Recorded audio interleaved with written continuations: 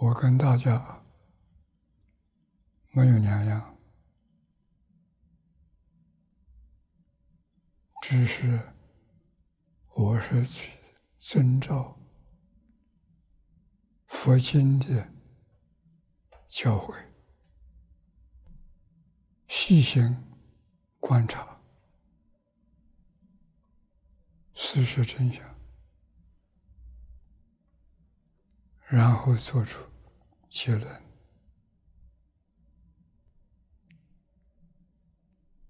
再来解决当前的问题。我把他的问题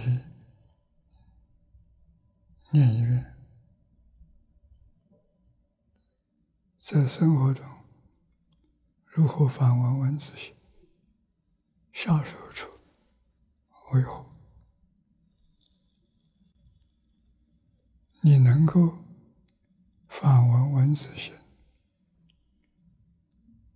问题就解决了。我们今天起心动念都是向外。没有向内，向外向内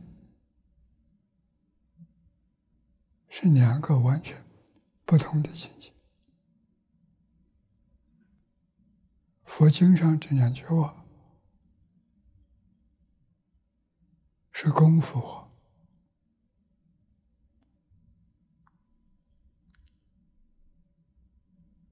日常生活当中，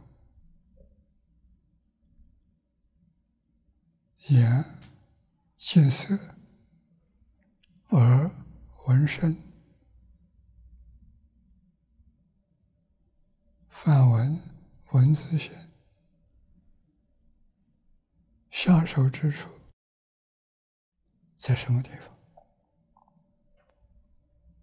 你的问题是文。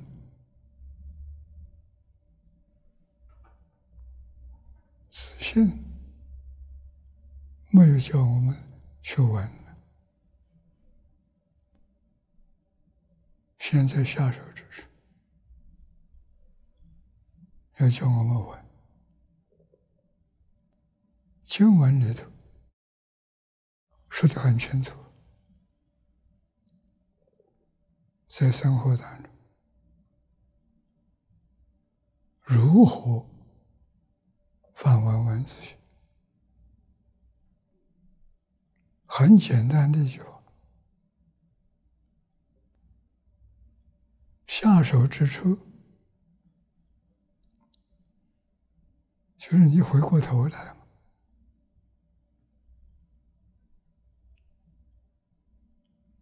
起心动念是文字学，我回过头来。我不起心，我不动念，这就不文字学，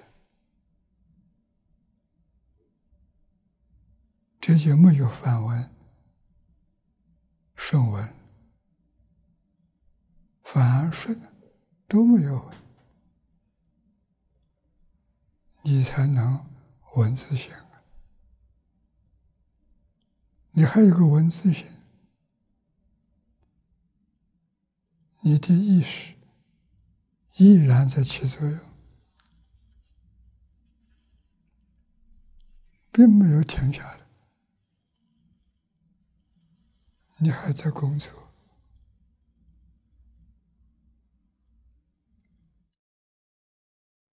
我们简单说说，文字性是有文，放下。是无求，你的问题是反问文字性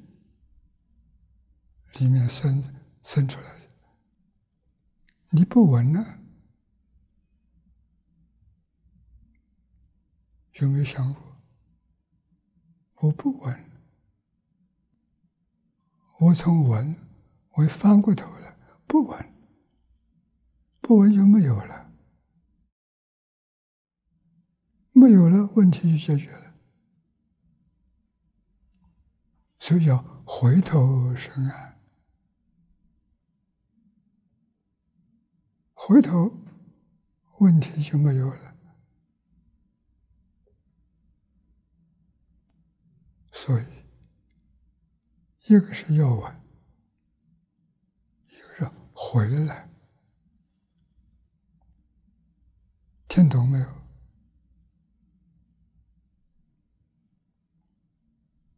问题的答案已经给你解答了，下手之处再反问，我反过头了，我不再想问文字性，或者你再进一步，自信在哪里？把下手处找出来，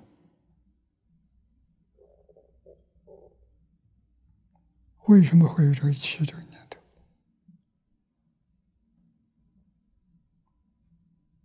大乘经说，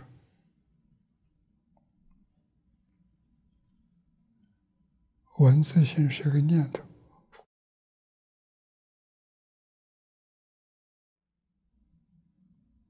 反过来。反过来叫你放下，自信有没有？有。现在到哪里去了？现在因为你有文字性，他在文字性里去，你不闻，他就没有；你闻，他就有了。是不是这样情形？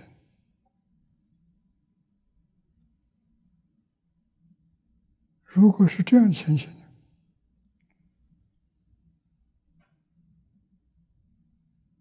我们想问自己势必要万缘放下，首先。把自信找到，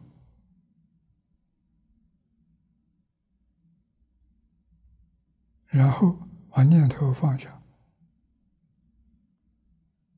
你反复多做几次，把文字性、不文字性反复多做几次。文字性什么样子？不文字性又是什么样？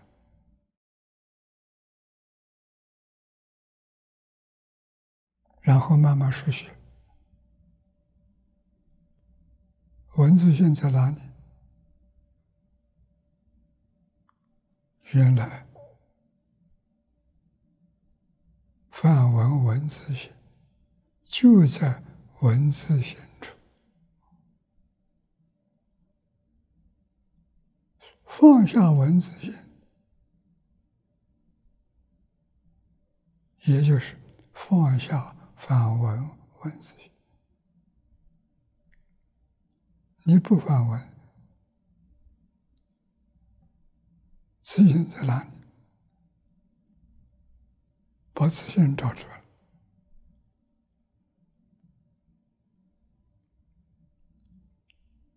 不闻自心的时候，没发现自己，从早到晚，先把字线找出来。然后去找他在哪里。文字线纹上耳根。然后你就会发现，眼根也有。舌根也有。六根自性发现了，每一根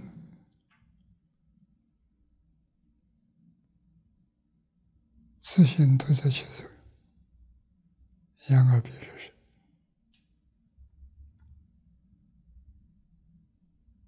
找到之后，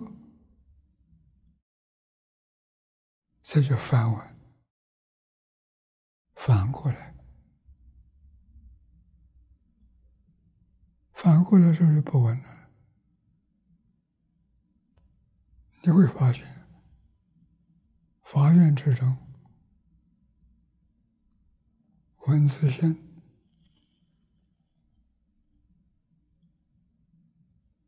照出来了。原来，你反问的那个就是自己。怎么样才去用功夫？用就反反过来，意思是不要顺着自己。自信里面，我们感觉爱好。甜甜东西，它就有甜味出来。这个甜味没有用甜甜味东西加味品，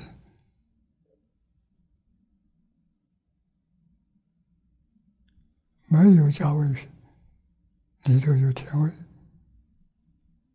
这甜从哪来？是不是从自己？这是不是那个反问问自己？